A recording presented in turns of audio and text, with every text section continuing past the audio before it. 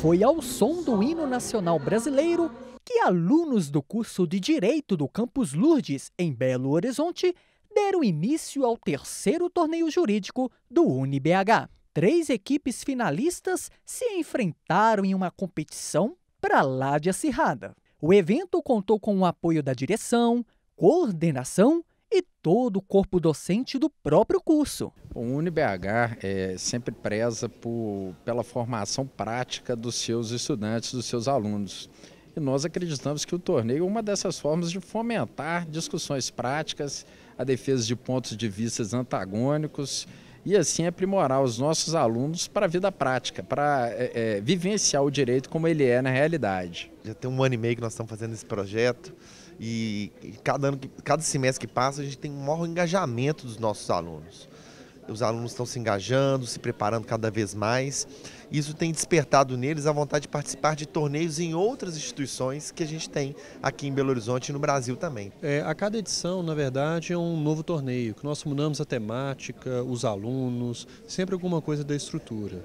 E talvez o que tenha não mudado, mas intensificado, seja a participação dos alunos, a empolgação, a alegria de estarem aqui debatendo, de exercendo na prática aquilo que eles farão no futuro como profissão. Isso ajuda na escolha do caminho. De acordo com a organização, o terceiro torneio jurídico do curso de Direito do UniBH visa simular debate judicial entre alunos do terceiro ao décimo período. E o objetivo dessa competição é que eles encontrem respostas para um problema atual que ainda não tem solução. Com os olhares bem atentos, universitários puderam acompanhar de perto o empenho dos colegas em cada etapa da simulação.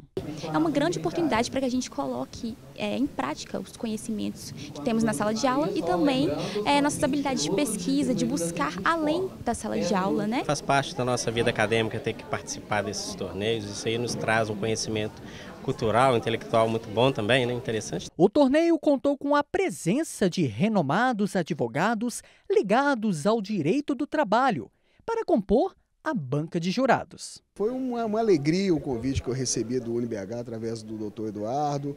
É, salientei isso, que é uma iniciativa é, importante para a formação não só acadêmica, mas profissional dos alunos. E agora estou aqui com a equipe campeã, a equipe Kels. E aí, como é que está a sensação no momento? Indescritível, foi muito bom. A gente está no último ano do curso de Direito, foi uma segunda oportunidade que a gente teve, porque nós já participamos de uma outra competição fora da faculdade e eu acho que isso coroa o trabalho que a gente vem fazendo como estudante, a gente vem desenvolvendo e a gente está muito feliz.